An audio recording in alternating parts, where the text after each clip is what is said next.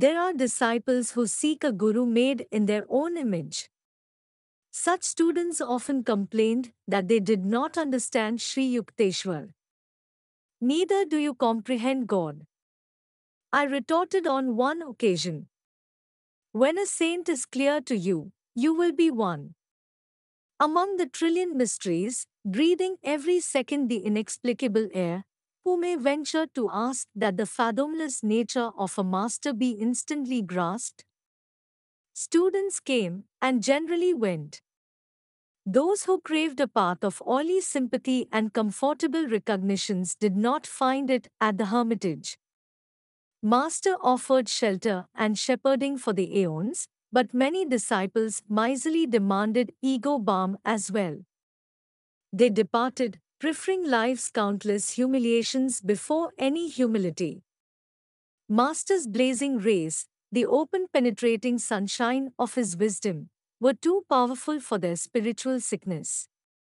They sought some lesser teacher who, shading them with flattery, permitted the fitful sleep of ignorance. During my early months with Master, I had experienced a sensitive fear of his reprimands. These were reserved, I soon saw, for disciples who had asked for his verbal vivisection. If any riding student made a protest, Sri Yukteswar would become unoffendedly silent. His words were never wrathful, but impersonal with wisdom. Master's insight was not for the unprepared ears of casual visitors, he seldom remarked on their defects, even if conspicuous. But towards students who sought his counsel, Sri Yukteswar felt a serious responsibility. Brave indeed is the Guru who undertakes to transform the crude ore of ego permeated humanity. A saint's courage roots in his compassion for the stumbling eyeless of this world. When I had abandoned underlying resentment, I found a marked decrease in my chastisement. In a very subtle way, Master melted into comparative clemency. In time, I demolished every wall of rationalization and subconscious reservation behind which the human personality generally shields itself. The reward was an effortless harmony with my Guru. I discovered him then to be trusting, considerate, and silently loving. Undemonstrative, however, he bestowed no word of affection. My own temperament is principally devotional. It was disconcerting at first to find that my Guru, saturated with jnana but seemingly dry of bhakti, expressed himself only in terms of cold spiritual mathematics. But as I tuned myself to his nature, I discovered no diminution but rather increase in my devotional approach to God. A self realized master is fully able to guide his various disciples along natural lines of their essential bias. My relationship with Sri Yukteswar, somewhat inarticulate, nonetheless possessed all eloquence. Often I found his silent signature on my thoughts, rendering speech inutile. Quietly sitting beside him, I felt his bounty pouring peacefully over my being. Sri Yukteswar's impartial justice was notably demonstrated during the summer vacation of my first college year. I welcome the opportunity to spend uninterrupted months at Serampore with my Guru. You may be in charge of the hermitage. Master was pleased over my enthusiastic arrival. Your duties will be the reception of guests and supervision of the work of the other disciples. Kumar, a young villager from East Bengal, was accepted a fortnight later for hermitage training. Remarkably intelligent, he quickly won Sri Yukteswar's affection. For some unfathomable reason, Master was very lenient to the new resident. Mukunda, let Kumar assume your duties. Employ your own time in sweeping and cooking. Master issued these instructions after the new boy had been with us for a month. Exalted to leadership, Kumar exercised a petty household tyranny. In silent mutiny, the other disciples continued to seek me out for daily counsel. Mukunda is impossible. You made me supervisor, yet the others go to him and obey him. Three weeks later, Kumar was complaining to our Guru. I overheard him from an adjoining room. That's why I assigned him to the kitchen and you to the parlor. Sri Yukteswar's withering tones were new to Kumar. In this way, you have come to realize that a worthy leader has the desire to serve and not to dominate. You wanted Mukunda's position, but could not maintain it by merit. Return now to your earlier work as cook's assistant. After this humbling incident, Master assumed toward Kumar a former attitude of unwanted indulgence. Who can solve the mystery of attraction? In Kumar, our Guru discovered a charming fount which did not spurt for the fellow disciples. Though the new boy was obviously Sri Yukteswar's favorite, I felt no dismay. Personal idiosyncrasies, possessed even by masters, lend a rich complexity to the pattern of life. My nature is seldom commandeered by a detail. I was seeking from Sri Yukteswar a more inaccessible benefit than an outward praise. Kumar spoke venomously to me one day without reason. I was deeply hurt. Your head is swelling to the bursting point. I added a warning whose truth I felt intuitively. Unless you mend your ways, someday you will be asked to leave this ashram. Laughing sarcastically, Kumar repeated my remark to our Guru, who had just entered the room. Fully expecting to be scolded, I retired meekly to a corner. Maybe Mukunda is right. Master's reply to the boy came with unusual coldness. I escaped without castigation. A year later, Kumar set out for a visit to his childhood home. He ignored the quiet disapproval of Sri Yukteswar, who never authoritatively controlled his disciples' movements. On the boy's return to Serampore in a few months, a change was unpleasantly apparent. Gone was the stately Kumar with serenely glowing face. Only an undistinguished peasant stood before us, one who had lately acquired a number of evil habits. Master summoned me and broken-heartedly discussed the fact that the boy was now unsuited to the monastic hermitage life. Mukunda, I will leave it to you to instruct Kumar to leave the ashram tomorrow. I can't do it. Tears stood in Sri Yukteswar's eyes, but he controlled himself quickly. The boy would never have fallen to these depths had he listened to me and not gone away to mix with undesirable companions. He has rejected my protection, the callous world must be his guru still. Kumar's departure brought me no elation. Sadly, I wondered how one with power to win a master's love could ever respond to cheaper allures. Enjoyment of wine and sex are rooted in the natural man and require no delicacies of perception for their appreciation.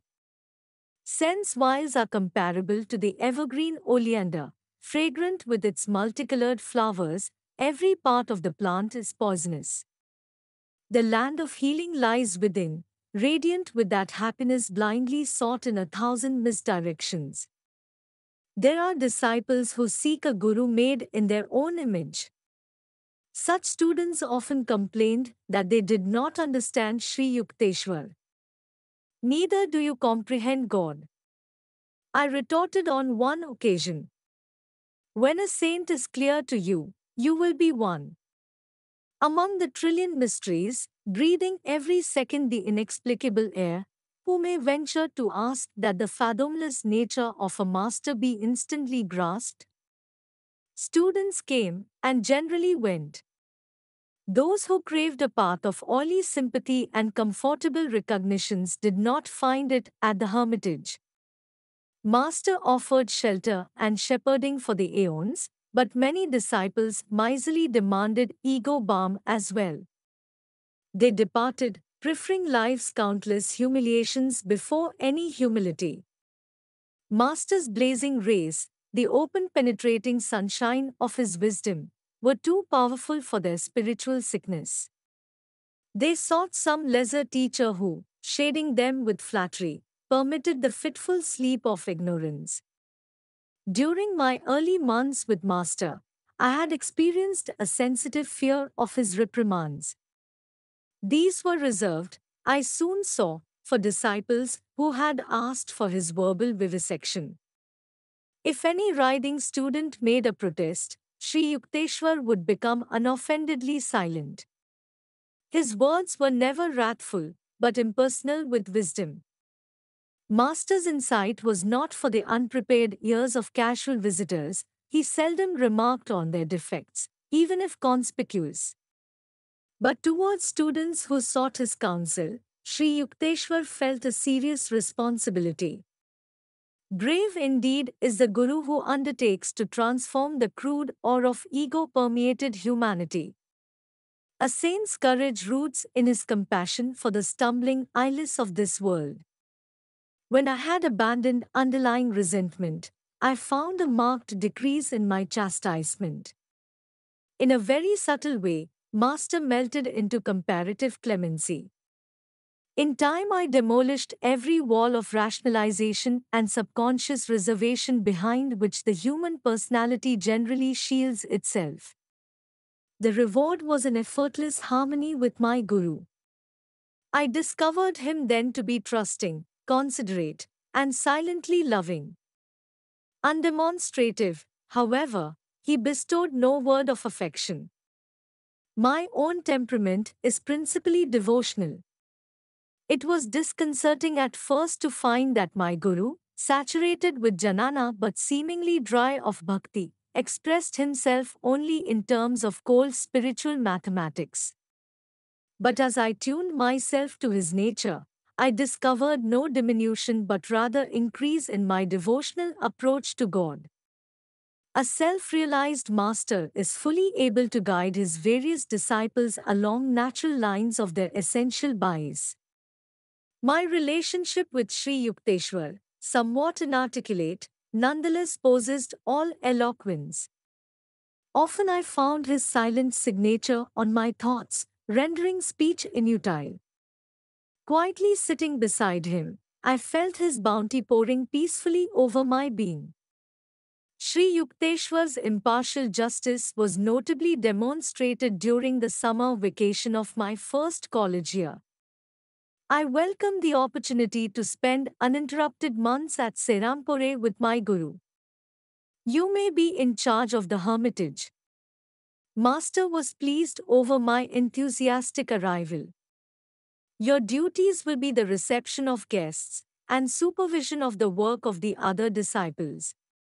Kumar, a young villager from East Bengal, was accepted a fortnight later for hermitage training. Remarkably intelligent, he quickly won Sri Yukteswar's affection. For some unfathomable reason, Master was very lenient to the new resident. Mukunda, let Kumar assume your duties. Employ your own time in sweeping and cooking. Master issued these instructions after the new boy had been with us for a month. Exalted to leadership, Kumar exercised a petty household tyranny. In silent mutiny, the other disciples continued to seek me out for daily counsel. Mukunda is impossible. You made me supervisor, yet the others go to him and obey him. Three weeks later, Kumar was complaining to our Guru. I overheard him from an adjoining room. That's why I assigned him to the kitchen and you to the parlor. Sri Yukteswar's withering tones were new to Kumar. In this way, you have come to realize that a worthy leader has the desire to serve and not to dominate. You wanted Mukunda's position, but could not maintain it by merit. Return now to your earlier work as cook's assistant. After this humbling incident, Master assumed toward Kumar a former attitude of unwanted indulgence. Who can solve the mystery of attraction? In Kumar, our Guru discovered a charming fount which did not spurt for the fellow disciples.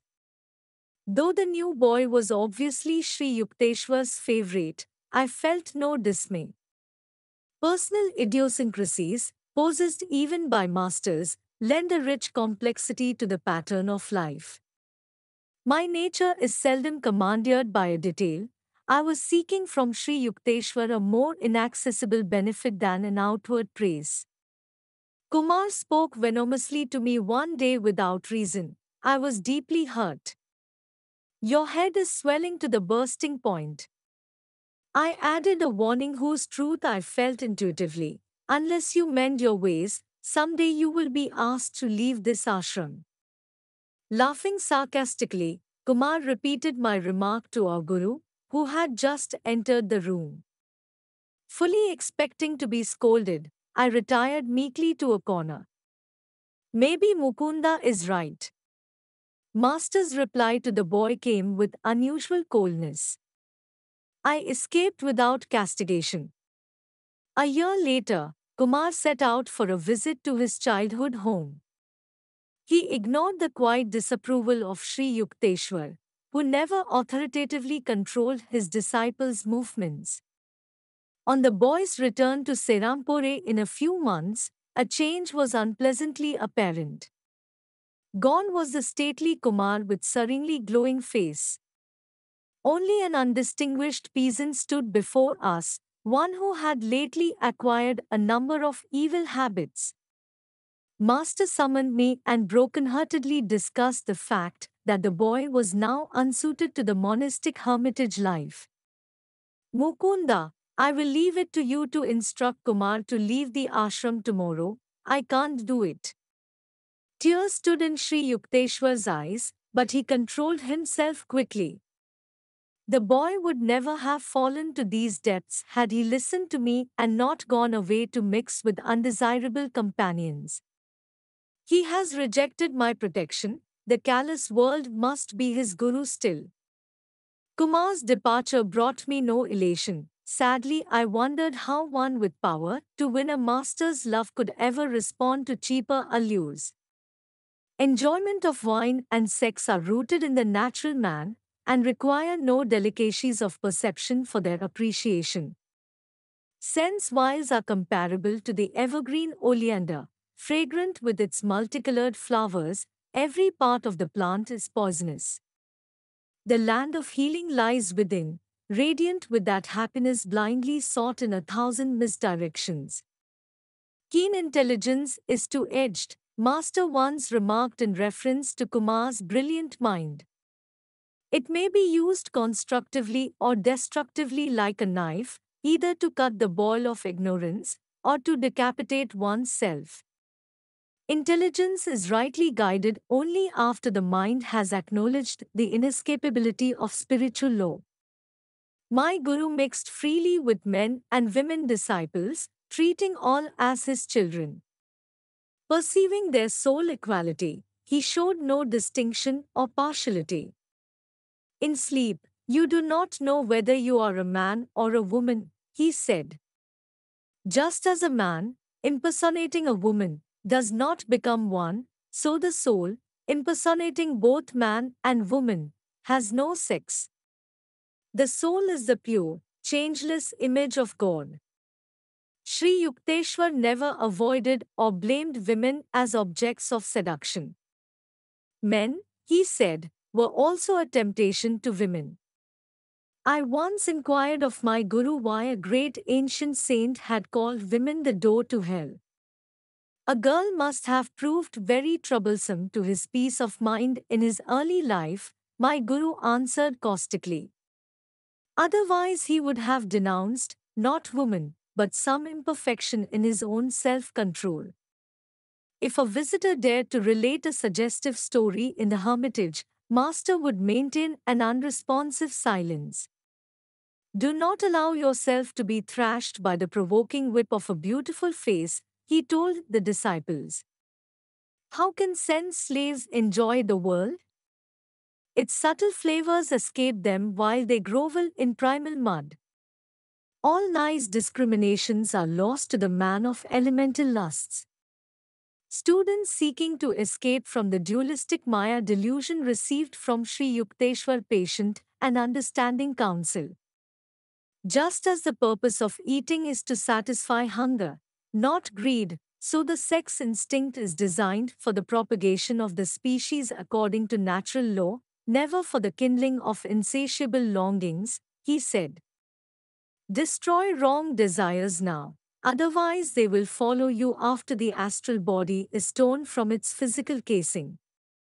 Even when the flesh is weak, the mind should be constantly resistant. If temptation assails you with cruel force, overcome it by impersonal analysis and indomitable will. Every natural passion can be mastered. Conserve your powers. Be like the capacious ocean, absorbing within all the tributary rivers of the senses. Small yearnings are openings in the reservoir of your inner peace, permitting healing waters to be wasted in the desert soil of materialism. The forceful activating impulse of wrong desire is the greatest enemy to the happiness of man. Roam in the world as a line of self control, see that the frogs of weakness don't kick you around the devotee is finally freed from all instinctive compulsions. He transforms his need for human affection into aspiration for God alone, a love solitary because omnipresent. Sri Yukteswar's mother lived in the Rana Mahal district of Banaras where I had first visited my Guru. Gracious and kindly, she was yet a woman of very decided opinions. I stood on her balcony one day and watched mother and son talking together. In his quiet, sensible way, Master was trying to convince her about something. He was apparently unsuccessful, for she shook her head with great vigor. Nay, nay, my son, go away now. Your wise words are not for me. I am not your disciple. Sri Yukteswar backed away without further argument, like a scolded child. I was touched at his great respect for his mother even in her unreasonable moods. She saw him only as her little boy, not as a sage. There was a charm about the trifling incident, it supplied a sidelight on my Guru's unusual nature, inwardly humble and outwardly unbendable. The monastic regulations do not allow a Swami to retain connection with worldly ties after their formal severance. He cannot perform the ceremonial family rites which are obligatory on the householder. Yet Shankara, the ancient founder of the Swami order, disregarded the injunctions. At the death of his beloved mother, he cremated her body with heavenly fire which he caused to spurt from his upraised hand. Sri Yukteswar also ignored the restrictions in a fashion less spectacular. When his mother passed on, he arranged the crematory services by the holy Ganges in Banaras and fed many Brahmins in conformance with age-old custom. The Shastric prohibitions were intended to help Swamis overcome narrow identifications. Shankara and Sri Yukteswar had wholly merged their beings in the impersonal spirit. They needed no rescue by rule. Sometimes, too, a master purposely ignores a canon in order to uphold its principle as superior to and independent of form. Thus, Jesus plucked ears of corn on the day of rest. To the inevitable critics, he said, The Sabbath was made for man, and not man for the Sabbath. Outside of the scriptures, seldom was a book honored by Sri Yukteswar's perusal. Yet he was invariably acquainted with the latest scientific discoveries and other advancements of knowledge. A brilliant conversationalist, he enjoyed an exchange of views on countless topics with his guests. My guru's ready wit and rollicking laugh enlivened every discussion. Often grave, Master was never gloomy. To seek the Lord, one need not disfigure his face, he would remark. Remember that finding God will mean the funeral of all sorrows.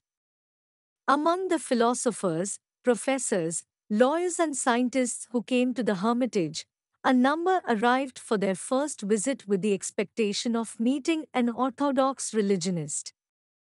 A supercilious smile or a glance of amused tolerance occasionally betrayed that the newcomers anticipated nothing more than a few pious platitudes.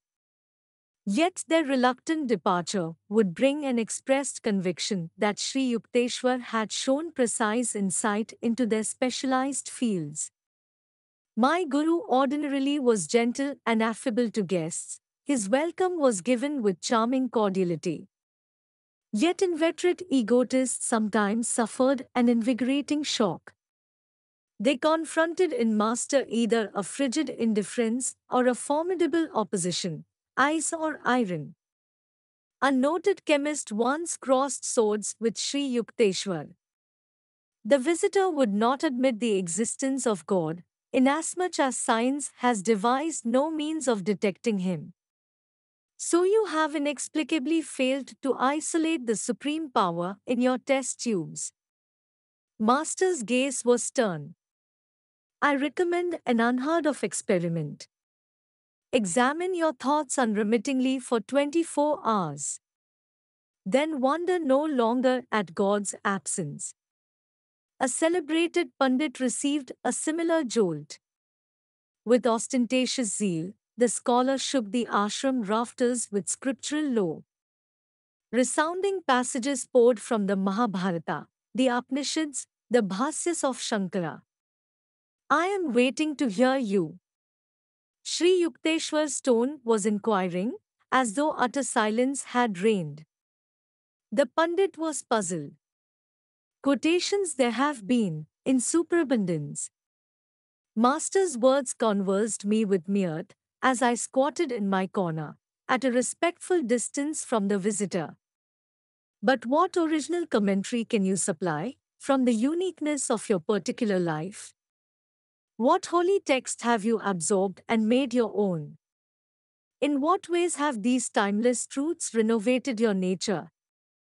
Are you content to be a hollow victrola, mechanically repeating the words of other men?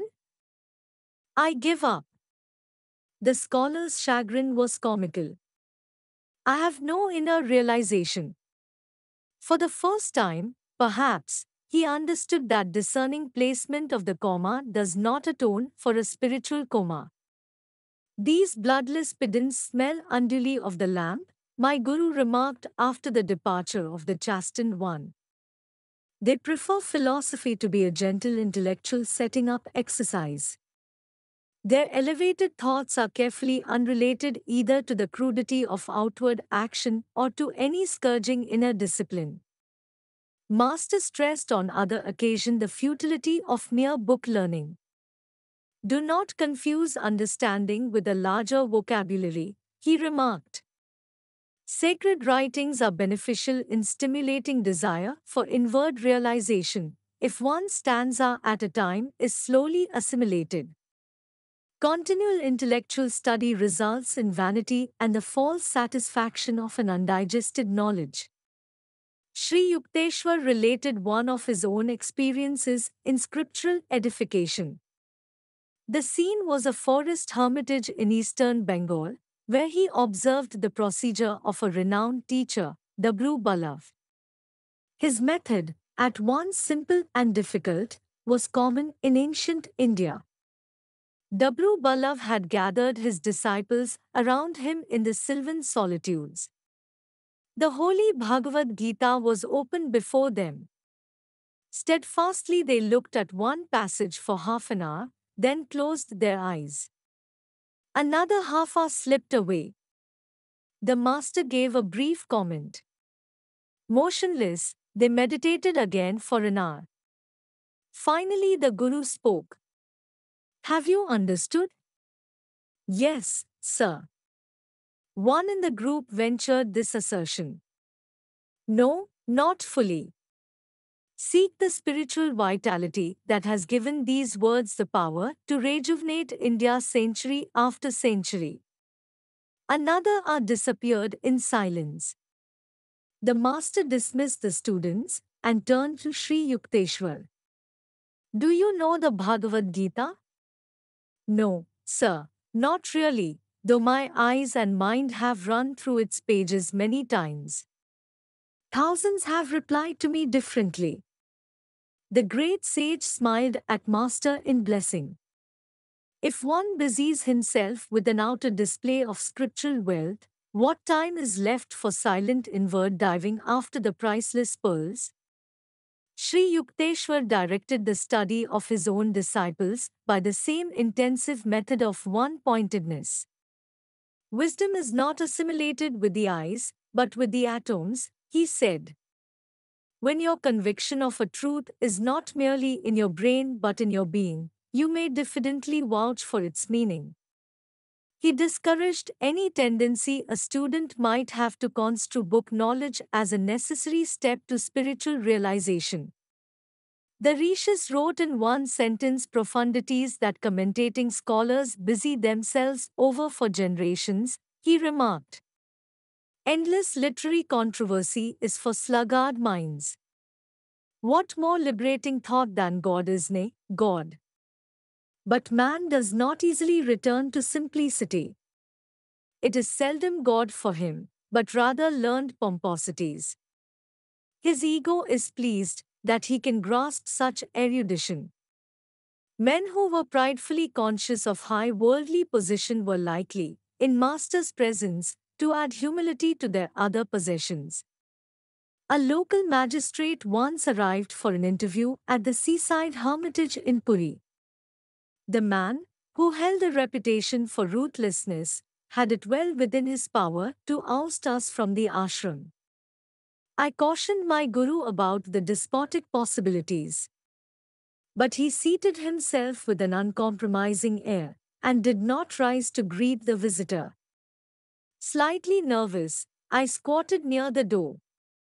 The man had to content himself with a wooden box. My guru did not request me to fetch a chair.